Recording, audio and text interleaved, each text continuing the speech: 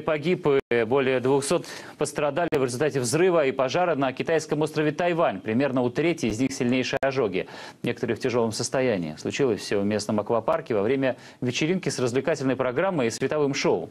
Георгий Лебедев расскажет подробнее. Танцы, громкая музыка, световые эффекты. Вряд ли жители Синбэя, города на острове Тайвань, которые решили провести выходной в одном из местных аквапарков, полагали, что закончится этот вечер совсем не празднично.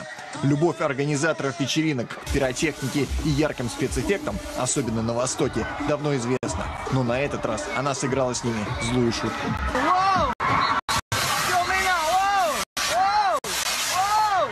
Сначала заговорили о теракте, но довольно скоро выяснилось, всему виной специальный порошок, разноцветный, свечащийся в темноте и способный отражать свет стробоскопов. Те, кто распылил вещество над танцующей толпой, наверняка рассчитывали на красочное шоу, но не учли, что порошок может загореться от одной единственной искры.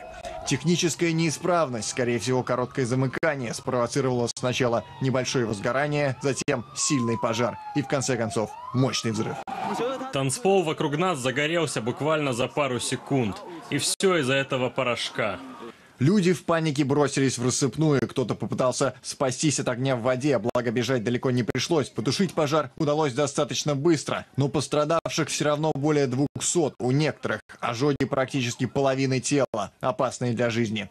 Организаторы вечеринки, конечно, уже извинились, пообещали найти и наказать виновных. Впрочем, отвечать перед законом по всей его строгости, скорее всего, придется не только техническому персоналу, но и руководству фирмы, которой, кстати, принадлежит сразу несколько крупных аквапарков на Тайване. Говорят, что летом в каждом из них нет отбоя от посетителей, но в ближайшее время принимать придется еще и государственных инспекторов с чередой проверок. Георгий Лебедев,